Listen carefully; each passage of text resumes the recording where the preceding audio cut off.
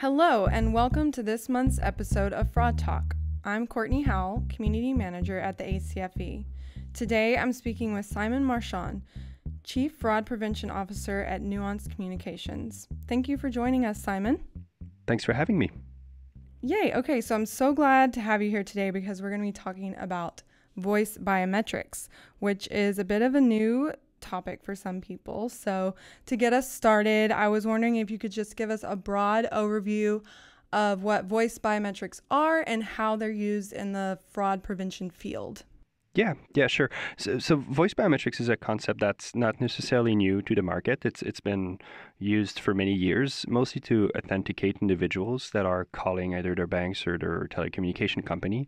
So, voice biometrics is the process by which uh, uh, an algorithm analyzes someone's voice to try and detect up to a thousand different parameters and build a voice print of that individual's voice. So we're looking at a voice print the same way we'd be looking at a fingerprint, for example. It's something that makes you you. It's completely unique to you. Um, and it's a it's a complex formula that then creates kind of a line of code that we use to then match any subsequent calls that you would make or any other speech that you would try to to have and we can match that to the voice print we have on file to make sure that we are indeed talking to the person we're expecting Cool. And so when you're thinking about fraud prevention, fraud detection in general, how are people using this and how are they using voice biometrics in that way? Yeah. So obviously there's the whole authentication side of things where uh, we will use voice biometrics to make sure that when a customer calls in or, or when we we're looking at someone's voice or, or, someone's recording we're we're looking at the right person. It comes into play in fighting fraud when we start using voice biometrics to uh, either identify a fraudster's voice. So we're trying to identify someone calling back that we know is a known fraudster that hit our organization in the past, or when we use it uh, in an investigation to try and tie multiple different cases of fraud to one individual or to a small number of individuals who might have colluded to hit organizations. Uh, it, it is a technology that's being used in forensic science for uh, a couple of years now. Um, so it is also something that can be used uh, in more high profile cases when it comes to identifying uh, someone who's speaking on a video, and we can see that in some public investigations on uh, terrorist threats, for example. Uh, so it can be used in multiple ways, but it, it, in fighting fraud, the most common way in telcos and banks, for example, will be to make sure that when someone calls, if it's not the individual we are recognizing, we'll be able to match that person to a known database of fraudsters and make sure that we do not deal with that person. Oh, that's cool. So it's kind of got two different sides. There's one that's for the customer and the client calling in just to make sure it's them and give them that security. But then there's also kind of this other side to it where you can actually find links between fraudsters. That's really cool. Yeah, and we can also use it to try and detect new potential attacks uh, on accounts. So, of course, if you know a specific fraudster, you can look for that person, but sometimes someone will be hitting for the first time.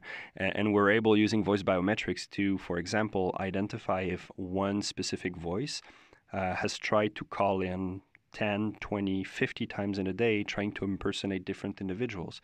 So we are able to cluster all of those calls and be able to say, well, you know what, this one voice tried to call and impersonate multiple individuals, which we think is suspicious and should be investigated. So we can also try and use that to detect new fraudsters that might not already be in our databases. That's really cool and very exciting. It sounds like it's a very powerful tool for banks and organizations like that. So I kind of want to like that's on the fraud prevention side. I'm curious as what it looks like from the your client side or the customer side like how are they integrating this into their systems and what does that look like? Well, there's two two ways to to proceed when when you implement voice biometrics. So uh, obviously, the goal of voice biometrics being to remove all sorts of security questions or personal information from the call, uh, we can go and use your voice as a password. So that's what we call um, active detection, where you would be prompted by your bank to say, well, at bank ABC, my voice is my password. And that little snippet of speech is enough for us to be able to make sure that it is indeed the right person. Um, but it does put some kind of friction where you still have to go through kind of a password process, even though that password is just a sentence that's very common. Uh, so there is the other aspect of voice biometrics when we use it passively, and that's happening in the conversation that you as a customer will have with your agent or with whoever is on the other side uh, of the call. And as you're speaking, we're able to match that live speech to whatever we have in the database to that expected voice print and be able to tell regardless of the language you're using uh, regardless of if you have a cold or not but we're able to tell that this uh, speech that person that's speaking to us is the right person. So we don't have we don't need a predefined sentence. We are, we're not looking for specific words. We're really looking at the characteristics of your voice. So how does it sound what's the, the tone, the pitch, does it come from the nose, from the throat, and all of this can be picked up by the algorithm live. So it removes all sorts of friction in the authentication process for the customer. It's completely transparent for them. Oh, awesome. Um, that brought up two questions for me, but I'll go with the first one that I, I came up with. You said it's passive, so it's kind of just going on in the background. Uh, will our organizations like asking their customers is is this okay? Do they get their consent or is it just something that they they just put out there and are using in the background without people knowing no, of course, you, we would never recommend that this kind of um, procedures put in place without having explicit consent. And uh, so, at, at, Nuance, when we deploy those solutions with our customers, that's one of the first things we tell them. So, you will have to build a specific script for your agents to make sure that you obtain explicit consent. So, the way it will usually work is that the customer will be calling the first time. Uh, will be answering, you know, the traditional like date of birth, address, mother's maiden name, and whatnot. And at the end of the call, then the agent can offer uh, that that client uh, saying, "Well, you know what? We could avoid having to ask you all of these questions uh, if you would accept that your voice is enrolled and used for future identification." Um, and when the customer agrees, then we can move on and use that voice print of the conversation that happened to then build the voice print. And in the future, when that person calls back, it's completely transparent and we can avoid all of the security questions. But we do have to get explicit consent. And I think this is key in an era where people are more and more concerned with their privacy and we're having all those smart assistants in our houses. And, and there is like growing concern like, are they listening to us when we don't want them to? So uh, that open and transparent relationship between a business and its customers when it comes to enrolling in voice biometrics is fundamental for us. That's good. I'm sure a lot of people will be reassured by that. Because, um, you know, you hear other stories of, oh, how you hold your phone when you're signing into your app is a fraud detection method. And you're like, what? They're, they're just recording all this information. So um, that's really good to know. yeah. And, and, what you're mentioning there is important because obviously, voice biometrics, we've been talking about it in a call center um, area, but biometrics as a whole is uh, clearly the next step when it comes to fighting fraud. And what you're mentioning, like behavioral biometrics, how you hold your phone, which angle, how you type.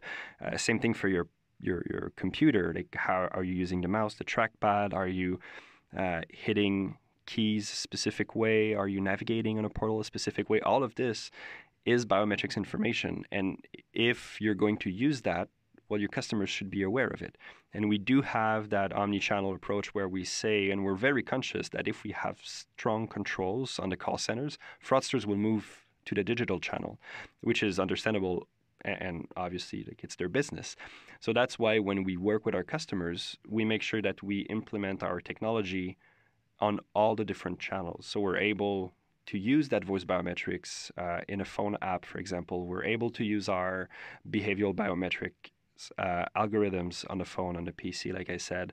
Uh, we're able to use uh, other types of biometrics, such as the conversation print, where we will look at how you structure your sentences, the choice of words, and we can use that to match it with how you type if you're having a chat conversation with an agent. So if if your the structure of your sentences or how you build your ideas changes dramatically, we're also capable of, see, of saying, well, this is not Courtney. This is not how she usually speaks or how she usually types or, or constructs uh, sentences. And then we can raise alarms, we can raise uh, any sorts of cases for fraud analysts to start looking into that. So, voice biometrics is really one step, but biometrics in general in fighting fraud just becomes kind of that holistic, integrated approach that can be put on all the channels of an organization.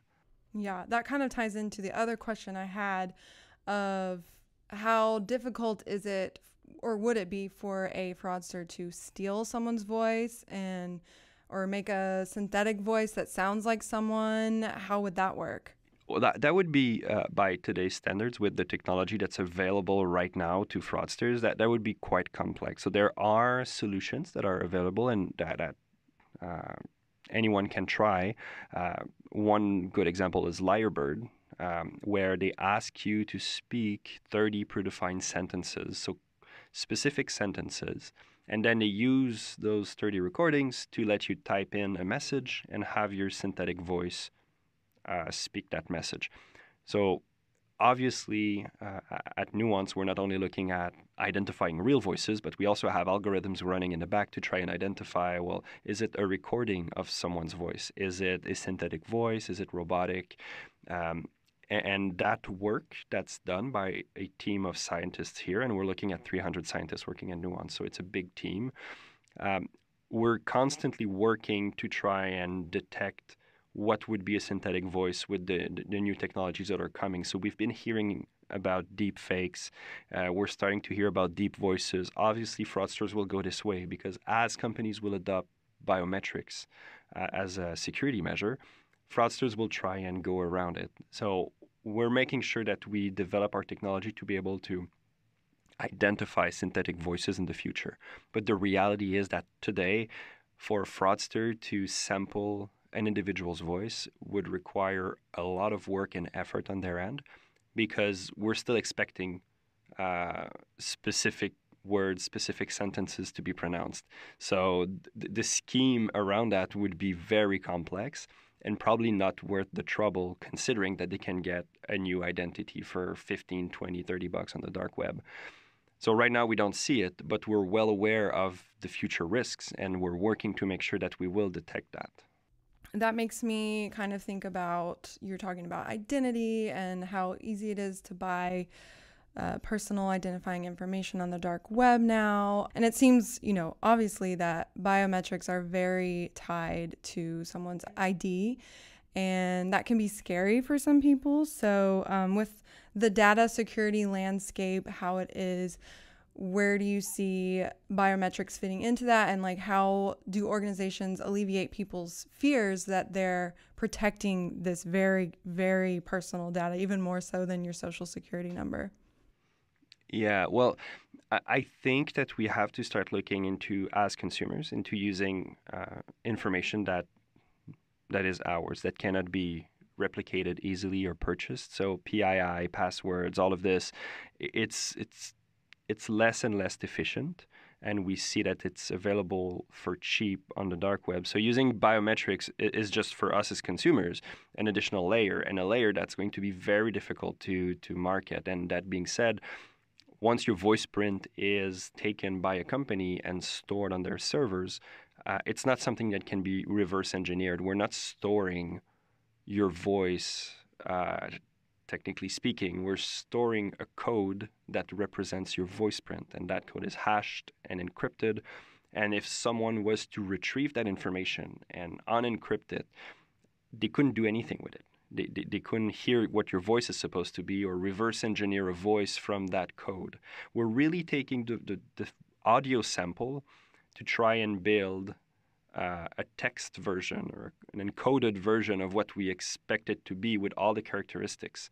So th- that makes it very safe for consumers, and they, they can be assured that when they're dealing with serious partners in voice biometrics, um, their voice cannot be reverse engineered from the voice print that's being kept. Yeah, cool. That definitely makes sense.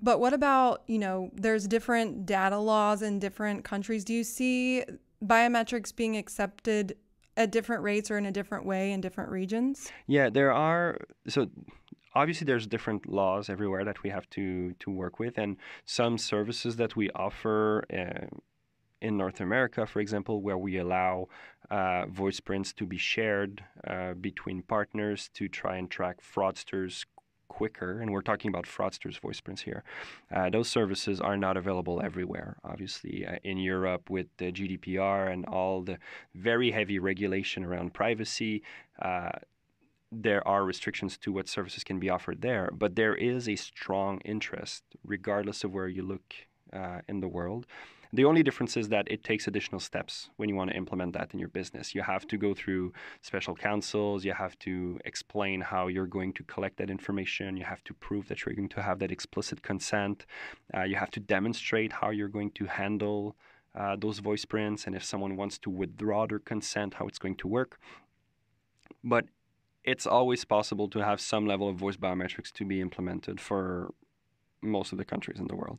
And we work with our customers to make sure that what they're putting in place uh, will be, of course, relevant to what they're trying to achieve, but also be done respecting all laws and regulations in place. So that's why we stay very transparent with the customers. We stay very transparent when it comes to disclosing that voice is being used, just to make sure that we will not um, have a problem with any regulations in place. Awesome. So this is such an exciting field and I, I love learning about all the biometric stuff. And the ACFE with SAS is actually going to release a benchmarking report for technology in the fraud field. And one of the things we're looking at are how people are using biometrics. And we're kind of seeing who's planning to use this in the future or who's not planning to use it at all. I would love to know some of your predictions or things that you could see happening in the next few years with voice biometrics. Voice biometrics has been deployed in uh, a lot of the big banks around the world, and just from the nuance side, we're looking at uh, 500 enterprises uh, using it already, and we're, we're talking big enterprises here 400 million voice prints across the world.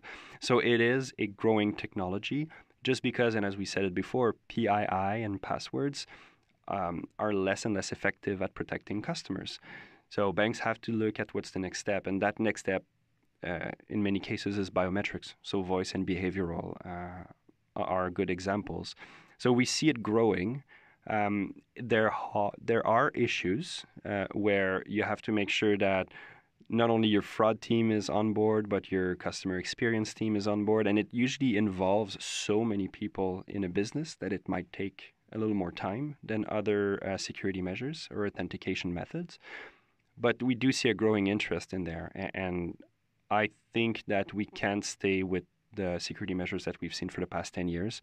Um, two-factor authentication uh, has shown that it, it is not as efficient as we thought it was. Relying on telcos to protect bank accounts uh, is not a reliable way to do it, just because we've seen how SIM swaps are now a huge problem, especially in North America.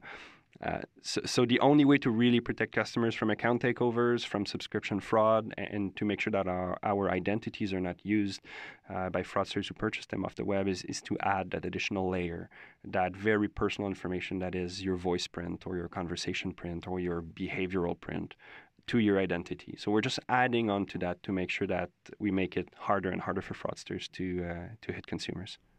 Awesome. Thank you so much. This has been so informative and so interesting. And thank you so much for talking with us about this today. You're very welcome. Remember, you can find more episodes of Fraud Talk at acfe.com slash podcast. This is Courtney Howell signing off.